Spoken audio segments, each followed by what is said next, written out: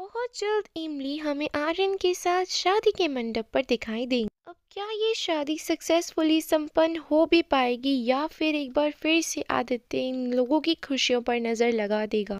ये देखना काफ़ी इंटरेस्टिंग रहने वाला है। और इस शादी में कब इमली को आर्यन से प्यार हो जाएगा, ये बात जानने के लिए हम सब लोग बहुत एक्साइटेड हैं। तो आप सभी अपनी एक्साइटमेंट को बरकरार रखिए। हमें बहुत जल्दी कई डांस परफॉर्मेंसेस भी देखने को मिलेंगी जो कि आर्यन और इमली के परिवार की ओर से होंगी। So for that stay tune thank you